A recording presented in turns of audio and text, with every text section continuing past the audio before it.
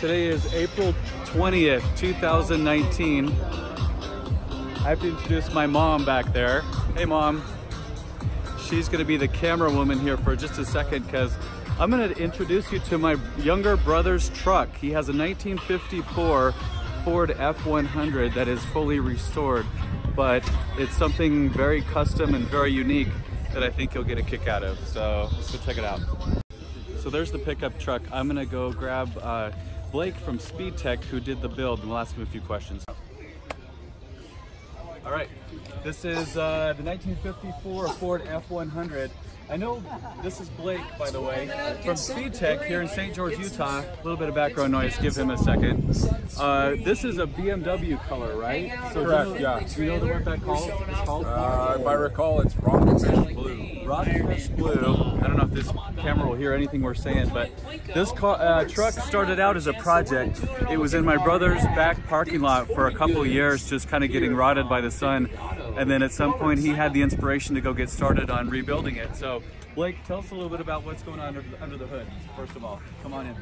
So under the hood, we've got a brand new Corvette LT4 motor with the uh, eight-speed automatic that goes along with it as a, a connect and cruise package. 650 horsepower. Uh, the truck sits on one of our custom uh, F100 frames that we build and sell.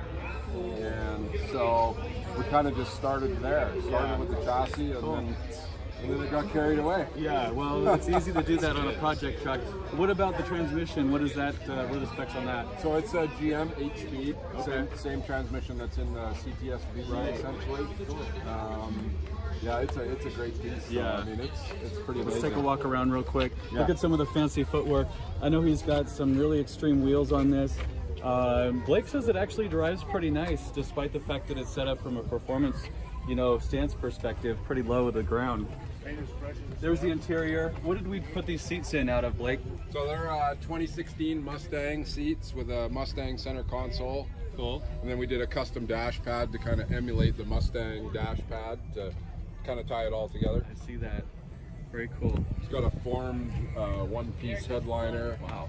That uh, little trade secret. We Yeah. we actually take the cab and we flip it upside down, and we put uh, two-part foam in it. Oh, yeah. And then carve the foam, then fiberglass it, and then just glue the headliner right to it. Yeah. So would you say this build is pretty much done, or are there still a few things you guys want to tinker with? Uh, I think we're pretty pretty done. It just Yeah. needs to get some miles on it. Yeah, You know, I think I can help with that. little uh, little touch-ups here and there, but I heard it's going to Vegas for a show next week or Yeah. two weeks from now. LS Fest. Yeah. So it's going to an LS Fest.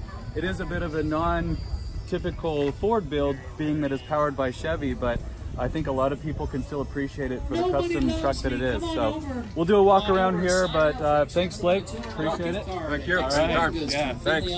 Come on over. All right. Check out our. There's some of the close-up on. of the wheels and tires.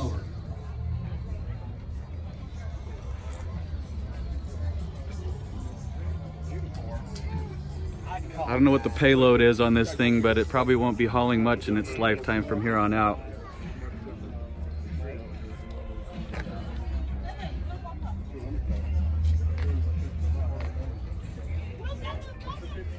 Mom, do you want to take it for a spin?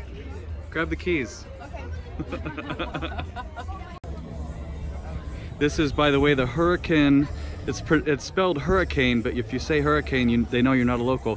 Hurricane Easter Car Show. It's a tradition here every year, Easter weekend in southern Utah that I've been coming to since I grew up, not too far down the road.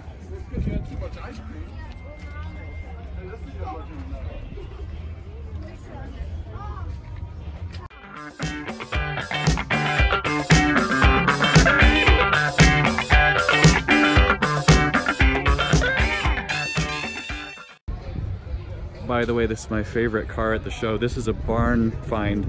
Just pulled out of a barn after 20 years being there, not even washed.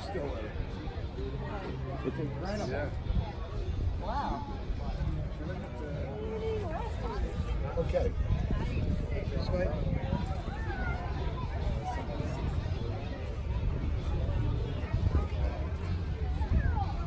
And to prove it, there's the registration sticker. 1999.